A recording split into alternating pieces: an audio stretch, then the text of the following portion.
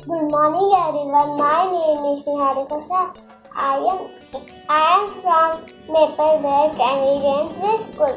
I am in junior KG class. My topic for science show is photosynthesis. Photosynthesis is a process by which plants can make own food by using sunlight, water, and carbon dioxide. The photosynthesis produce?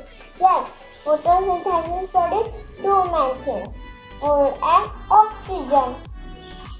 Now I will tell you some fun facts. Some of the plants glucose can make during photosynthesis, which are stored in fruits and roots.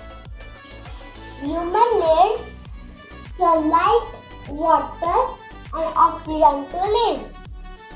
Photosynthesis is a process by which that, that enables plants to get energy from the sunlight. Light energy from the sun is converted to chemical energy by chlorophyll. Chlorophyll gives the plant green color. Carbon, carbon dioxide and water are also needed for photosynthesis. You want to see? I'll show you. This is my plant.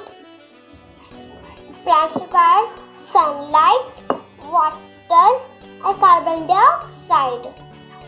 Now I ask you one question. What is the photosynthesis produce?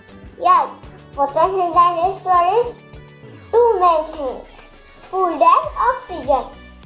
Thank you for listening me.